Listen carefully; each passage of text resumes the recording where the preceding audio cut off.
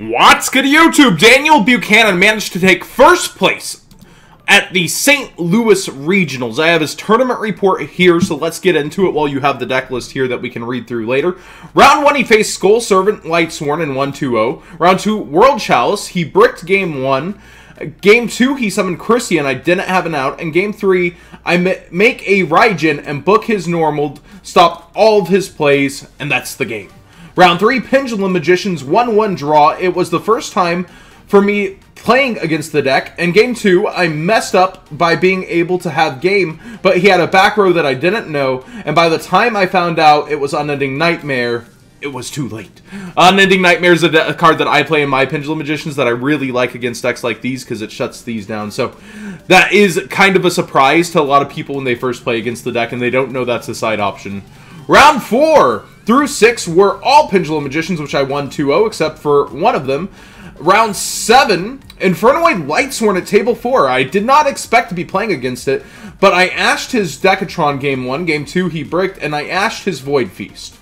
Round eight, I played against Justin Singh with his Draco ABC and won 2-0.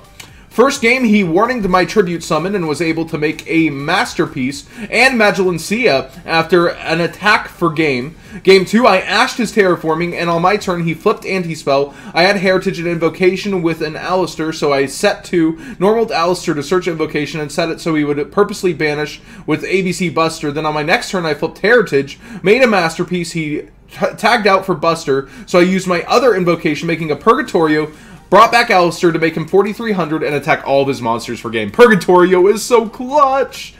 My shoutouts are to my friends Billy and Brent, who basically helped me get better at the game and mentor me. Guardian Games in Indiana, which is my locals, and Alex Bradshaw, who runs the store for having uh, and for having a store with competitive players that help me keep improving. Whew, that was uh, a bit of a mouthful for me. So Daniel Buchanan taking first place over at St. Louis, I do believe.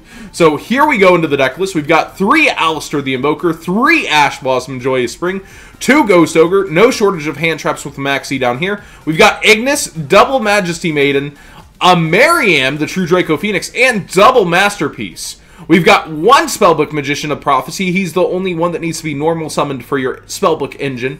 We've got two Disciples. We've got three Dra Dragonic Diagram, two Invocation, one Meltdown, two Desires, one Raigeki, two Spellbook Knowledge, dropping it on them, uh, two Secrets, three Terraforming, three True Draco Heritage, one Strike, one Warning, three Apocalypse, and a True King's Return.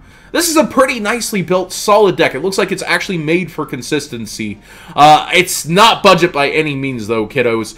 Two Denko Sekka, two Gameciel, two Cosmic Cyclone, two Forbidden Chalice, two System Down, ready for them ABC and Cosmos, two Twin Twisters, two Anti-Spell, and one Imperial Order. I do want to say as ABC rises, Cosmos gets hurt because of this card. One Invoked Caliga, one Cocytus, one Elysium, one Magellanica, double Mechaba, double Purgatorio. Oh, I love this Gengar looking dude. Two Raidjin, one Castel, one Diamond Dire Wolf, one Tornado Dragon, one Decode Talker, and a Proxy Dragon. Never forget Azura Priest with Big Bang Shot attached that only gets bigger. Ooh, never forget. Never forget Aroni. It gets a natural boost in the deck. So there you have it. Daniel Buchanan taking down a very strong first place. Great tournament report, my man. Thank you for sending in your profile. This is our first look at the new format on the channel in terms of deck profiles, it looks like, from the competitive scene.